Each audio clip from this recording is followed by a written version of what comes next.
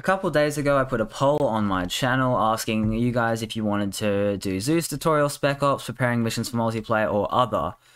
33% if you wanted Spec Ops Infantry and 911, 22% if you wanted to know how to prepare a mission for multiplayer, and 11 if you wanted to know how to do Zeus tutorials. So what I've decided to do is kill two birds with one stone and make a Spec Ops Infantry mission, show you the process, and then I'm going to show you how to make it multiplayer compatible so you and your friends can play it together. And once we've done that, next tutorial I put out will be probably a Zeus tutorial, and just for the memes, I might make a YouTube short for how to do 9-11 in ArmA 3. Anyway, let's get into it. First things first, when you get into any map and you want to start making a mission, I open the map and I start looking. A middle mouse button can teleport your camera to it. Or you can point your cursor over it and press F and here we go um, where I was pointing. Basically used my markers and created a front line sort of thing and then marked out all my objectives that I was going to be using. Like Thronos Castle was one of the objectives. So I ran over here double click marker objective open color red that's black color red objective alpha there. And copy and paste pretty much for this one. Objective bravo. Just ignore my bad spelling I'm kind of typing extremely fast to get this dealt with. And then on this hill here I put a nice little radio compound. So chuck in another objective here and we're just going to go objective C I started with that, and then I went over to the castle, and I was decided to, obviously I'm going to have to fortify it. I decided I was going to do a cache destroying mission, so I basically went to supplies, went, searched up cache, and then I found the FIA ammo cache, equipment cache, and weapon cache. And I called them C1 for cache 1, C2 for cache 2. And C3 for cache 3, grabbed myself a trigger, and it would check just for exclamation mark alive C1, and again for C2, and again for C3. And on activation, all it did was all it did was connect to a create task like so. I am kind of speed running this here for you guys, so don't waste any of your time. Create task, blah blah blah blah blah, and succeeded. And then once the trigger gets fired with this code, it will create the task. However, using one amount, one M112 demolition block will take about five minutes of them cooking off until they actually explode. But then the trigger will be succeeded, but it doesn't happen straight away with the explosions, unless you put a heap of explosions on. And obviously, I had to just not keep a cache there. It's got to actually be some interesting stuff. So I grabbed my ChizDiz guys, grabbed the APCs, let them do their own thing by placing this guy on the road and then giving him a LAMBS danger. Uh, there it is, patrol. It's not, that's a bit small for a vehicle. 1500 by 1500. Sync to the vehicle, now he'll patrol and I'll go here and I'm going to get a turret. And let's give them a ZU and just all this sort of stuff. And I eventually basically just started fortifying it. And it's good to have anti-air stuff and like bigger stuff that will do more damage for one thing instead of compensating with a butt ton of infantry. So I did end up getting the infantry for a tiny little anti-air pair and shift right click waypoint, shift right click waypoint, waypoint, waypoint, waypoint, waypoint, waypoint over here, waypoint over here, and another waypoint here, and then the last waypoint is a cycle waypoint so that they will run around in circles. Let's grab Alpha 1, limited speed, safe, and open fire, keep formation, done. With that, now we've got air-to-air threats for CAS players to deal with. We've got this BTR here, and if we want, we can have two. We're going to go dynamic patrol pattern, uh, eight waypoints. We're going to copy him and paste him again. This one will be a dynamic reinforcement, so once they hear gunfire, they'll come back and help out. Now we're going to set up a quick patrol, um, infantry patrol that will basically patrol the outskirts of the area. So 200 works decently well for a foot patrol. So I'm going to grab the leader, sync him to the task of the patrol, and dynamic patrol pattern. And then I'm just going to copy that, open up the map, and as you can see, you've got the small circle here. I'm going to move him all the way over here. I'm going to copy, so the, the line, the circles slightly interlap, building a strong 360 security. Obviously, they might not always be together, but it works pretty well. And you want to have just a couple pickets here and there. And that's this objective set up really quickly. As you can see here, we've got BRDMs. We've got two of them, one here and another one here. But I've done a lot of work just fortifying it, adding a ZUs, uh, 23 there, just a barracks here, so they're going to garrison and all run inside. And I think I might actually go teleport units. You got the ZU up here doing its own sort of thing, and you've got this little patrol who is quite literally just walking around in circles. So they end up going here, and then over to this spot and then just keep going. Like so. So then we've also got over here we've got all the patrols. If I open the map you can see that same prominent ring going around the objective and a couple pickets here and there.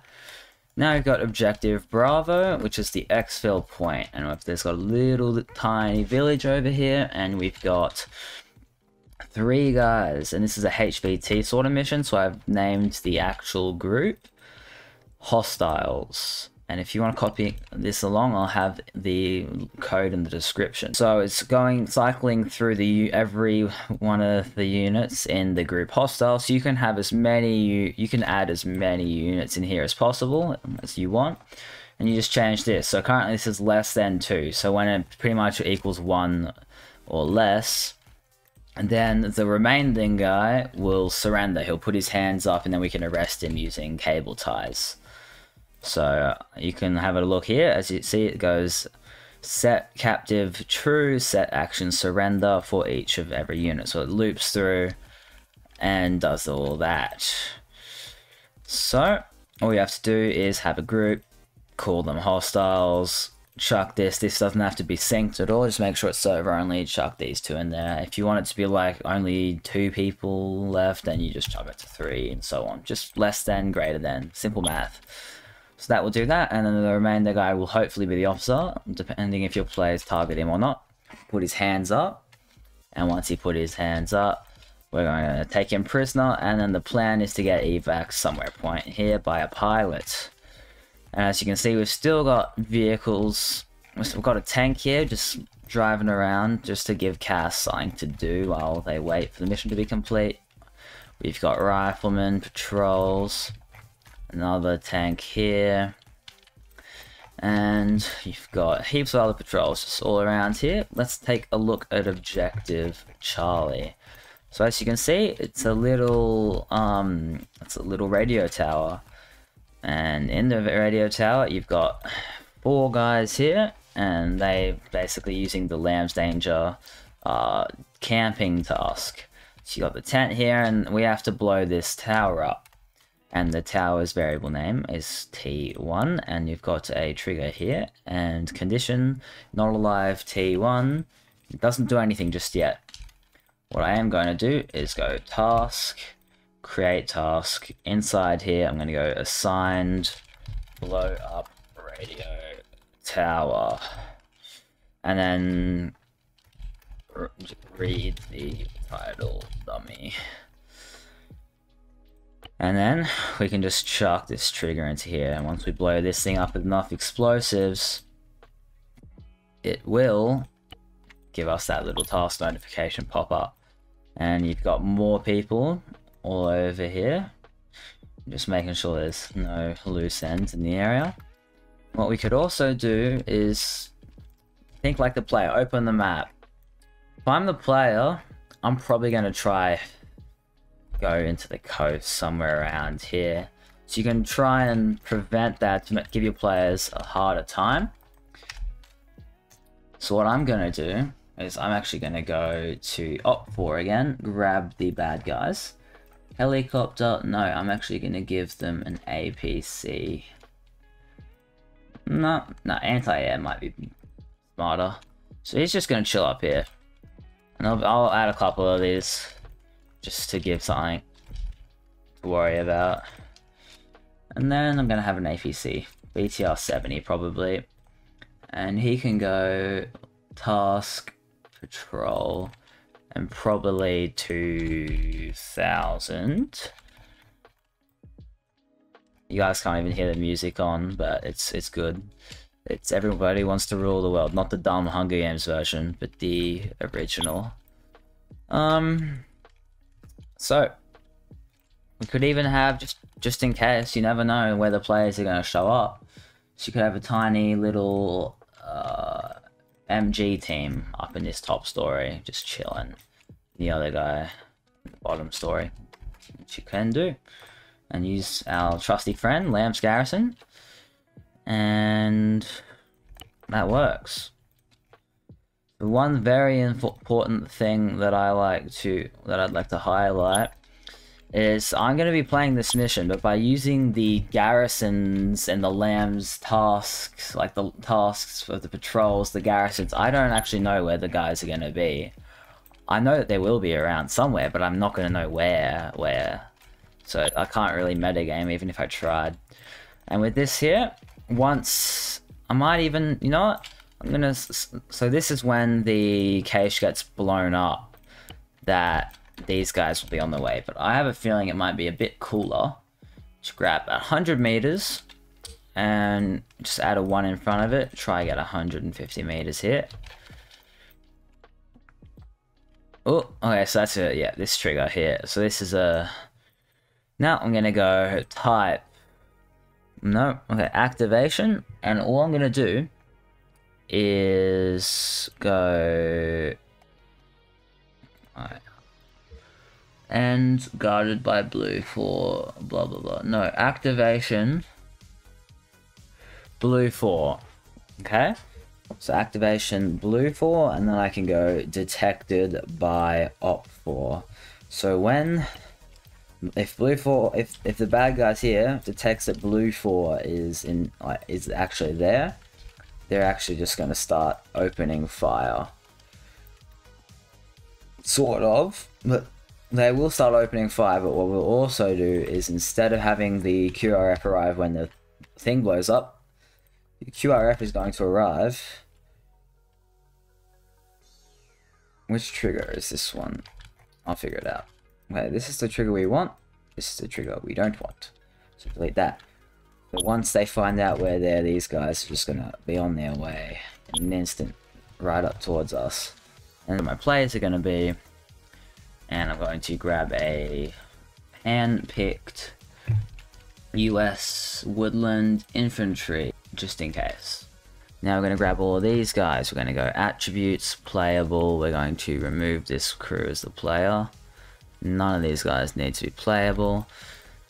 Now that these guys are here, we're going to add an arsenal. So I'm going to go to supplies, storage, cargo net, and then I'm going to in there paste it will be paste the virtual arsenal script. I'll put that in the description along with all the other scripts we're about to get into. Now I've got an arsenal everyone's there. And we've got obviously if we want to come in on a helicopter we can do that. UH-60 I'm going to place it with a crew and then delete the gunners and grab the two helicopter co-pilots, the two helicopter pilots, and put them over here, and I'm going to make them both playable as well. Once we load in, AI will automatically take these slots. If we want to prevent that, we can disable the AI while we're at it, respawn on custom position ticked. Going to markers, system, empty marker. We're playing as BLUFOR, therefore we need to go respawn west. If we were OPFOR, we'd go respawn east. If we were independent, we would be not in depth, we'd actually be guerrilla, but the proper spelling.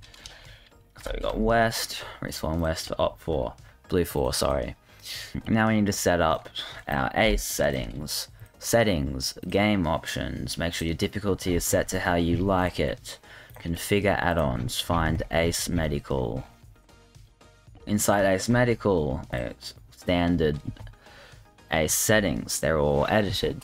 Limp on open wounds instead of limp on stitched wounds. If you limp on bandaged wounds, it means you have to stitch them to fix it, blah blah blah blah. Blends fully heals fra uh, fractures, yes. I've decreased the fraction, the fracture chance all the way. Unconscious wake up chance is 50. Every 50 seconds, once I've stabilized the patient's vitals, aka they're not bleeding anymore, it will basically heads and tails 50% and they'll wake up. Epinephrine boost, only 2.4 as 50% is already high enough. Fatal damage source, only large hits to vital organs. Do not do some with trauma blood drops if you want those you can enable them if you don't you can disable them white flashing i find is just the most common with the pain effects if i scroll down more to enable litter if you don't like all the bloody tissues on the ground and all the other surgical equipment litter you can disable that AI unconsciousness, make sure it's unchecked. Otherwise, the AI will act really weirdly once you shot them and you'll have to headshot them to finish them. Clear trauma after bandage. If you have actual medics in your little group of friends, make it after stitch, give your medics the access to the surgical kit for the stitches. Allow shared equipment. You want to take the patient's equipment first, just like real life. The medic isn't going to use their own stuff. They're going to use the patient's first aid kit before they start using theirs. Auto injector time, haven't touched those. Allow epinephrine, anyone. If you want to make it only doctors can do injections, you can. Allow locations, make sure that's set to anywhere, otherwise you'll not be able to give it unless you're either in a vehicle and facility, medical facility, nearby any of these. Allow personal aid kit, anyone, anywhere, consume, yes, self-usage, yes. Allow surgical kits for medics only, that's all your stitching, locations, anywhere on the field. Consume surgical kit, no, so you can keep on stitching. Self-stitching, no, you need two medics so they can stitch each other up. Allow IV if you want to give each other blood, you need to make sure it's set to everyone and anywhere. Self IV transfusion. If you want, I have just because I play with a bunch of brain dead people sometimes and they aren't very smart. Okay, so that's all set up. If you need an A10, just chuck one in. Once you've done this, make it nighttime and I would highly also suggest that you choose a day with a full moon, otherwise your night vision will not be able to see much.